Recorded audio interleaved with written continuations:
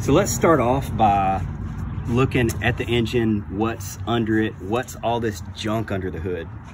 I mean, we all know, I mean, we all know that's a battery, right? That's the antifreeze. At the top of the motor, you've got older cars have a carburetor right here. This one is kind of a hybrid between fuel injection and um, a carburetor. The fuel injection is hidden down inside of it.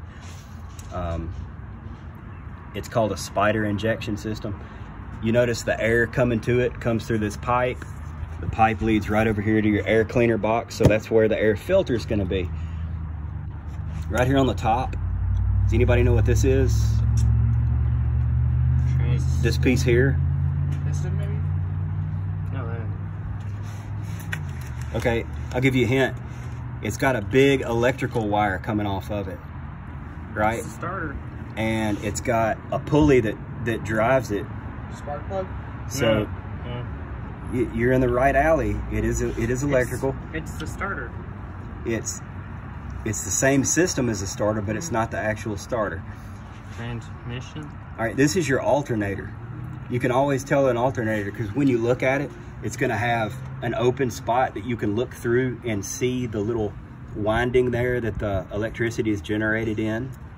And it's normally got a breather through the front. A lot of times when your alternator is not working, it's there's a lot of mud and gunk caked up in there. You can take contact cleaner or something like that and clean it out. You've normally got one connection to the battery. You'll notice that this connection to the battery is a ridiculous oversized 4 aught welding cable. That's just so that the power coming into the battery is good and efficient. Um, this little doohickey right here, I like to call it a doohickey. Um, that's your control for your alternator. Your computer will sense when the system voltage is at like 14 to 14 and a half volts and it will cut the output of your alternator down. That's your voltage regulator is beneath there. Your alternator basically has that, that winding right there. This spinning inside of the winding, you have, you're making an electric field there and it generates not direct current like a battery holds, but it makes alternating current like you get out of your wall. So it's got to have a voltage regulator to regulate that voltage down to 14 to 15 volts. And then it gets this really cool thing in electronics known as a diode. And what a diode does is it keeps electricity flowing one way. So if your alternator's messing up, a lot of times you can pull this plug off and unbolt the little part that plugs into it and replace it and that'll fix your alternator. A lot of people go spend like 200 bucks on a new alternator and what they really needed was like a $12 voltage regulator. So that's one thing. So moving over on the top of the engine there, what about this guy here?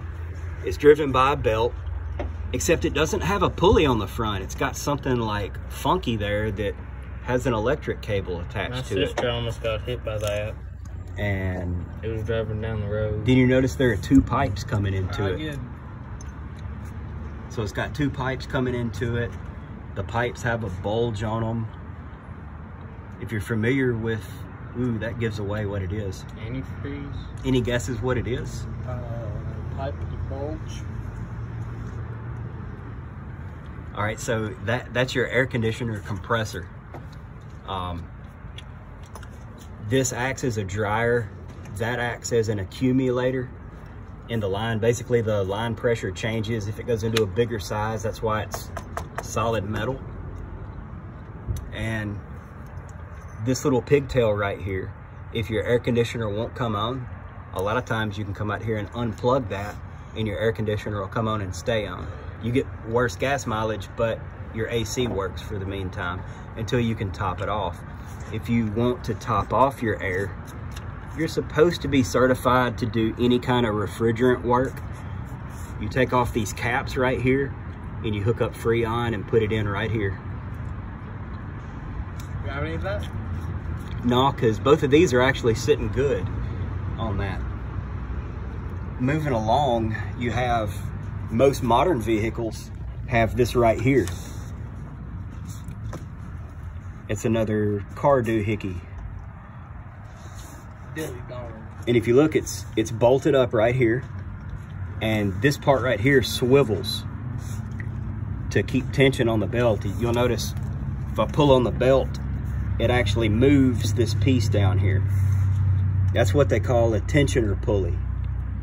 That keeps tension on your belt. If you go down the road and you hear your belt squealing, you probably need a new tensioner or a new belt. That's the that's the tensioner. Yeah. And pretty much every car you're gonna run across now uses this kind of belt drive system. Used to, they would mount the alternator on a bracket where you could swivel it. And you'll notice on older cars, mostly like from 1988 and back, that this mounting bolt for the alternator will have like a leg sticking off of it that's a big slot that you can pivot the alternator onto that bracket and it tightens up this belt. So when your belt's loose, you come out with a pry bar and pry your alternator with the bolt loose and then snug the bolt up. This is a much better way of doing things. You can actually go like this right here, push it over and pull the belt off with your hand. And to get it back on, you stick a wrench in here that you, and nine out of 10 times, that's gonna be a 3 8 drive off of a ratchet, fits right in there. That's something they do on purpose, just to make things easier. So, um, moving downward a little bit, you'll see the bottom pulley right there. This is the very bottom. Right there.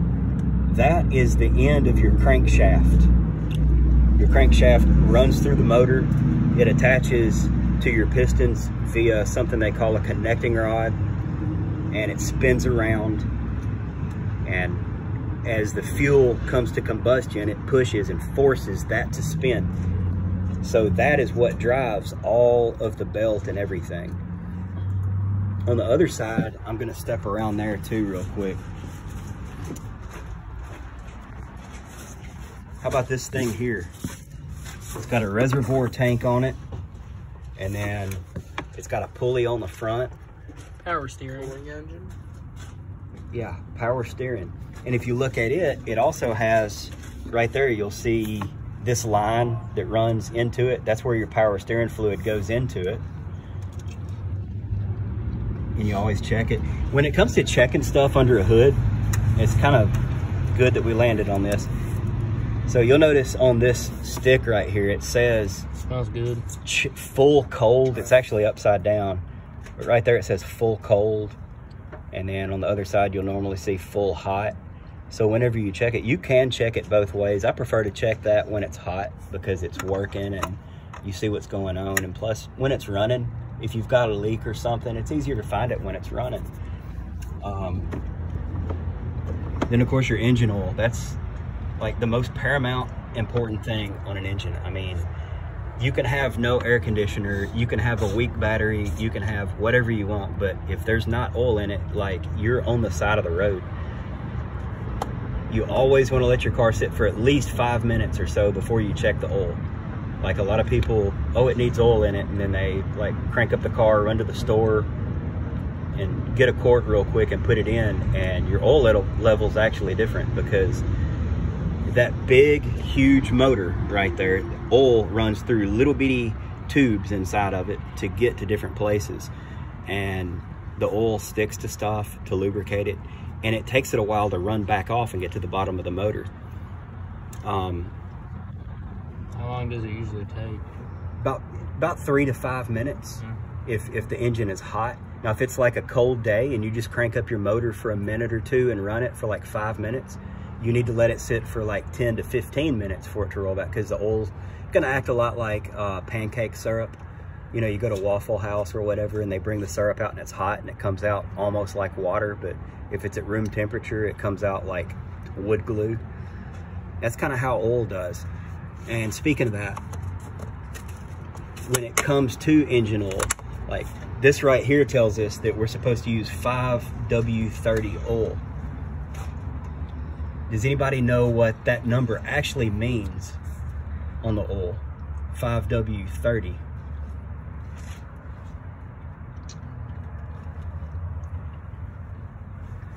Weight? Yes. And what that weight is, is that that's two different ratings. That's one chemical with two ratings on it. That 5W, the W stands for winter. What's something about winter that sticks out like a sore thumb? Cold. It's cold, right?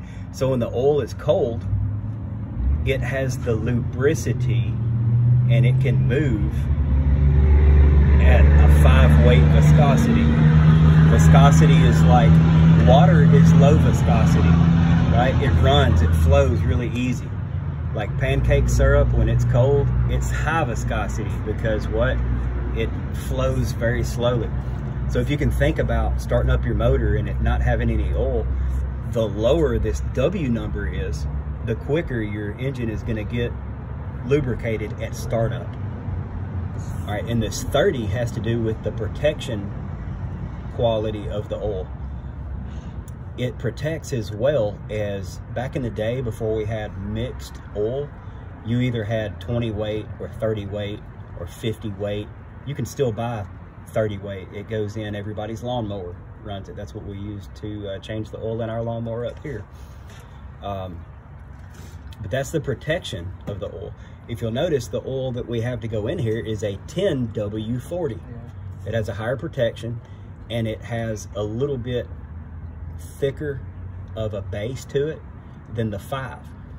But this vehicle also has 400,000 miles on it. That's really cool. We ought to look at the odometer if anybody doubts it. This thing is nearly half a million miles. And um, well, as things get old and worn in, a little bit thicker oil sometimes helps.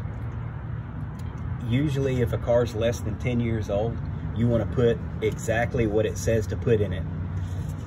And one thing that, let me kind of like take some myth out of this. People are going to tell you, oh man, Valvoline is the greatest oil. And then like you meet somebody else and it's like Castrol is the greatest oil.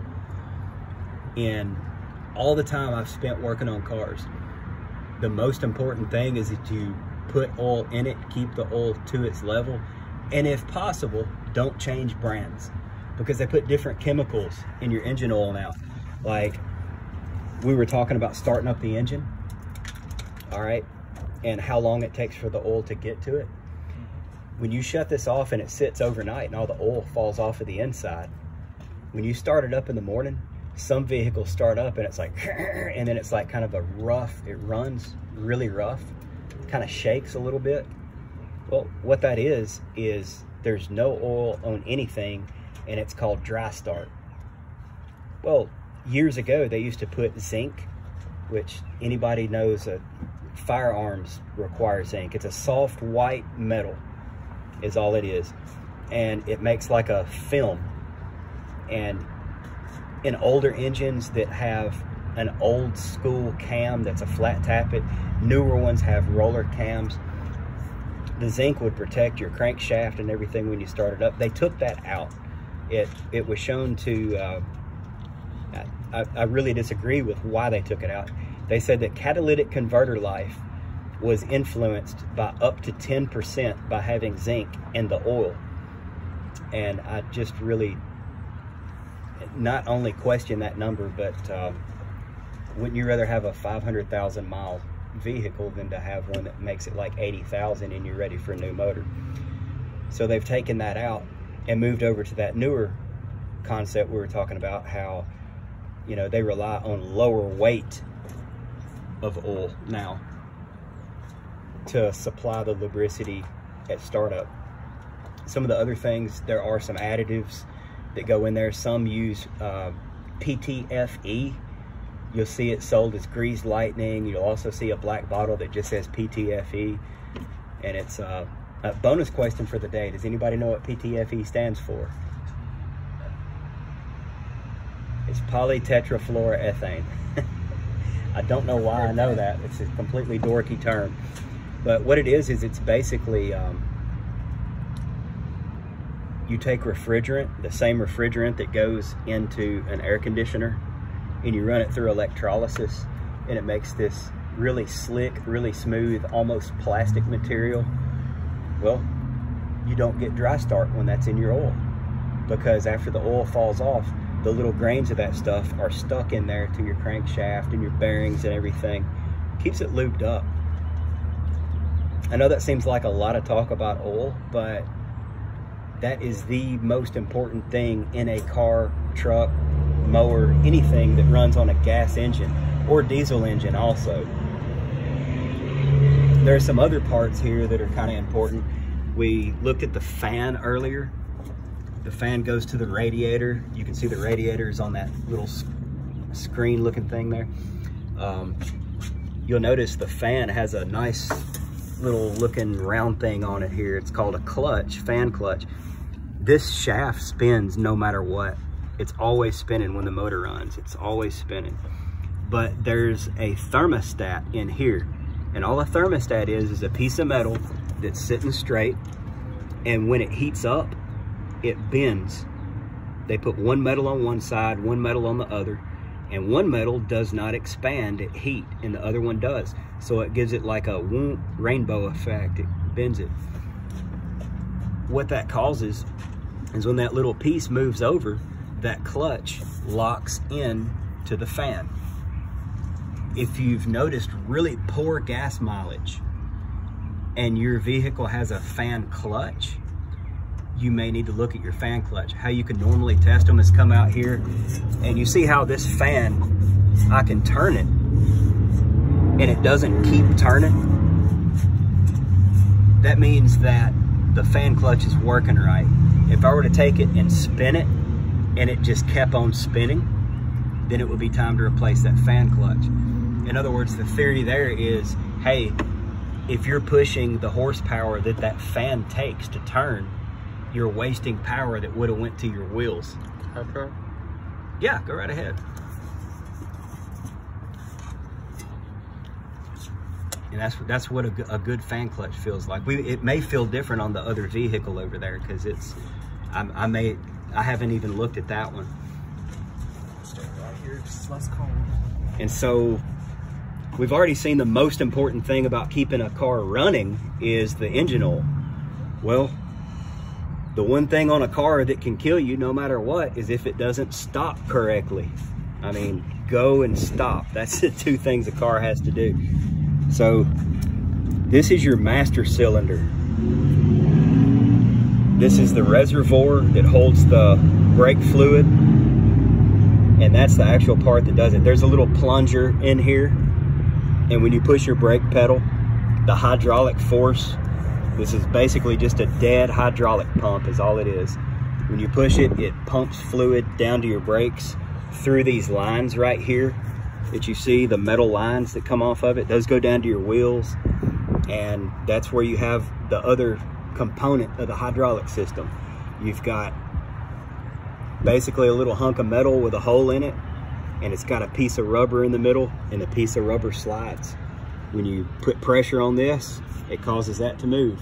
That's what stops your car. And anytime you're messing with one, if somebody who doesn't mind, grab one of those microfiber cloths real quick. So any hydraulic system kind of has the same rule to it. Any kind of dust or dirt or contamination or debris inside of a hydraulic system will cause it to fail at some point along the line. So if you're gonna open it up and check the fluid level, you definitely need to clean it off real good first. Actually, if you don't mind, can you hold that camera right there? When you're taking these off, you wanna keep down pressure on it because you notice it can move like that. Well, you can rip it loose right here where the metal comes into the plastic, or you can break the plastic if you're not careful. You wanna keep some down pressure on it and pull these tabs up. And then you're left with this little doohickey right here. And it usually has some funky little thing like that. And you have to fix it. And you just look in there and see where your brake fluid level is. You see how that's kind of dirty looking? It wouldn't hurt to flush that really soon. You gonna do it today? We don't really have time to flush it today.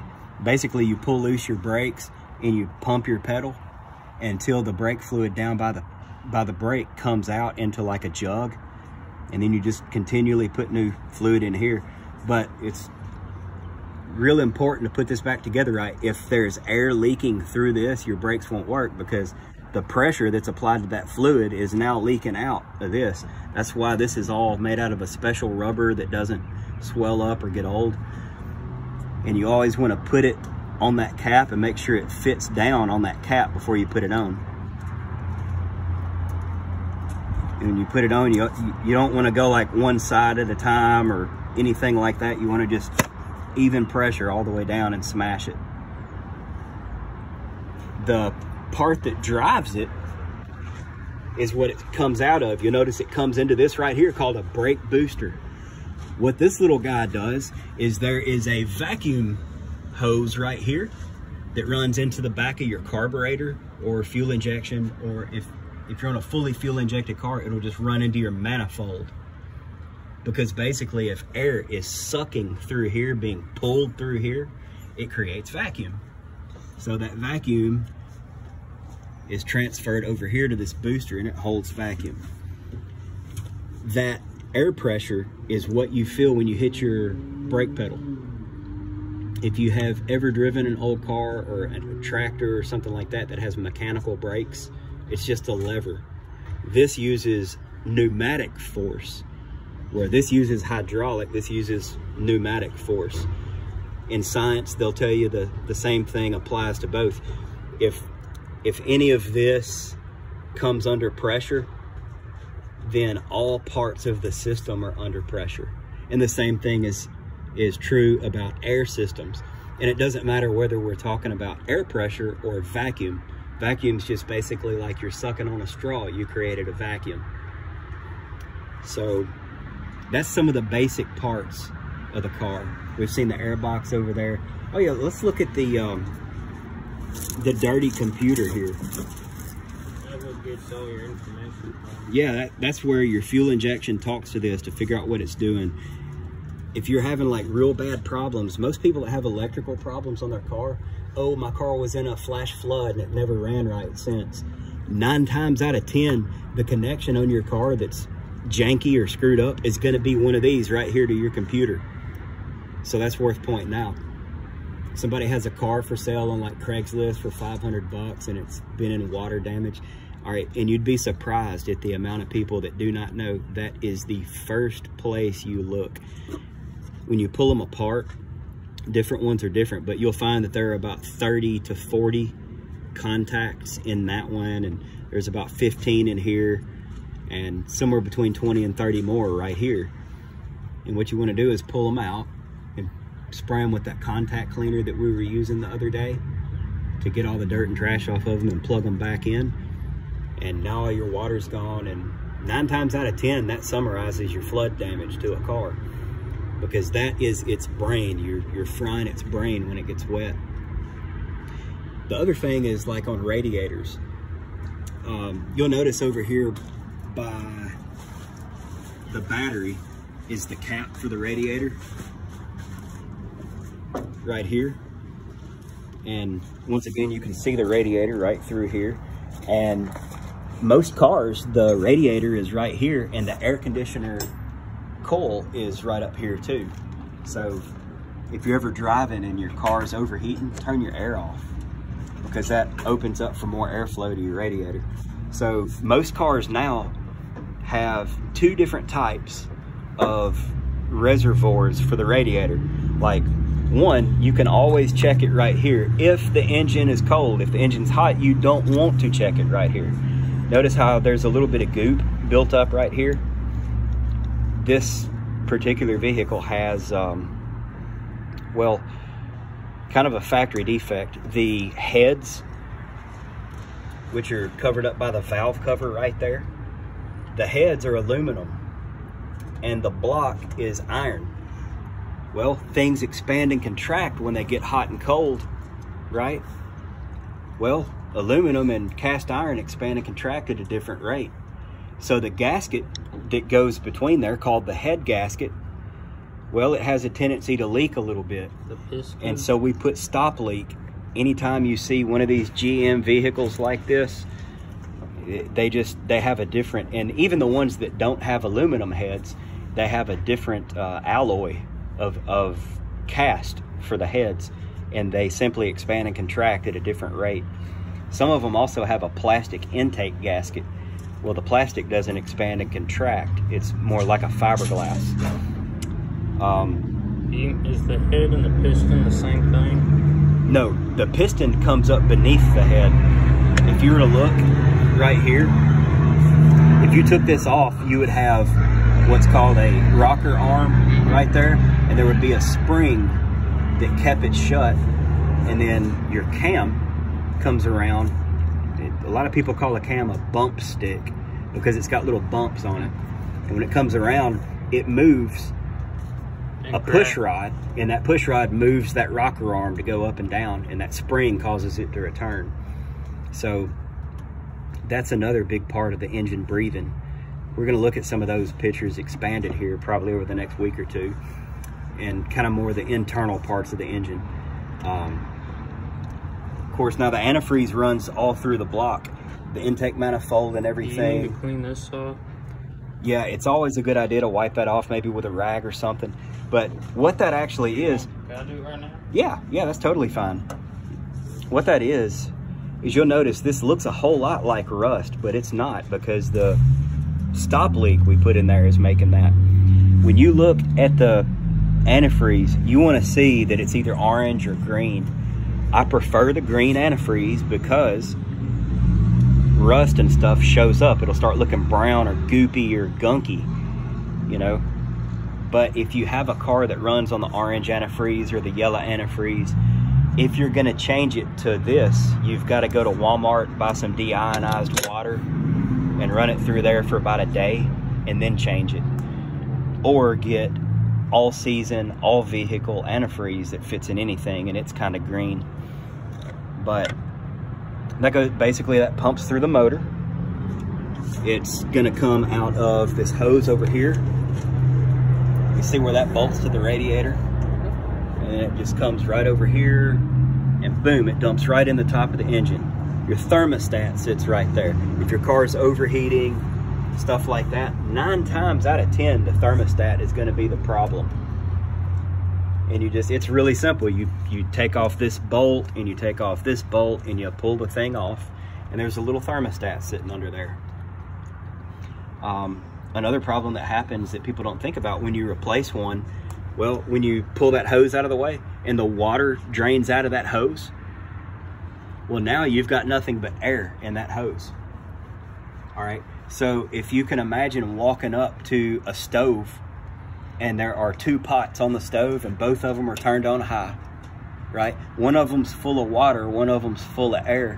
Which one would you stick your hand in? The air. The air. That's right Water. air doesn't transfer heat. So if you have air in this hose right here, a lot of times that is why your thermostat is not working. So that's something to kind of keep in mind when, when you have one that's, you know, you can always, when the car is running, you should be able to come right here and squeeze on it. And you should be able to feel hot water right here. It should feel hot. You can also, if you look right here as I squeeze on it, you see the water level raise right here. That will let you know that it's not full of air because air compresses easier than fluid. Fluid does not compress at all. So if it has, is it leaking? If it has hot air? If it has hot air right there, what's happened is there's a leak somewhere in the system and the fluid level came down and you just haven't found the leak yet. A lot of times the leak is coming out of your tailpipe through your intake. Is that the back there? Yeah. A lot of times it just comes out as steam. It'll look white. And usually the engine kind of stumbles really easily when you're burning antifreeze like that. And that's the reservoir. You'll notice that down here you have um, antifreeze in there. And you've got a little mark right there that says full hot and full cold. Well, right now it's cold and I'm to that line. So that's good. All right, so this is like your old school reservoir system. All your cars before like 1990 are, About 1977. built like that, built just like this. Totally. You have a radiator and a reservoir. Modern cars, sometimes what they do is instead of having this cap, the way that this is, it'll be sealed right here, and they'll have a pressurized cap right here on the reservoir. So on a lot of newer cars, you can't go to the radiator at all and check it. You have to go over here and just trust that everything up here is okay. I prefer the older system on these for something I'm just gonna drive around and beat around in or work on. It's a lot more straightforward to diagnose. The other thing that kind of keeps you going down the road, transmission fluid. That's always important to check. You always want to check that with the, the motor warmed up and hot and running. So do you want to do that today? Basically, everything you check on a car falls in two categories. Stuff you check hot, stuff you check cold.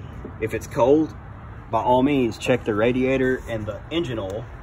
And then if it's hot, you want to check transmission fluid, power steering fluid, stuff like that.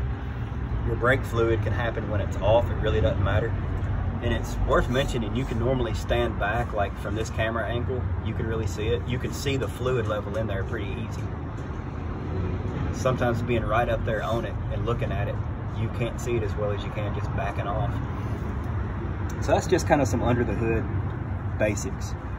So next we're gonna move, we're gonna start taking air filters out, doing a little bit of service and uh, drain the oil on this one and crack loose the fuel filter on that other one.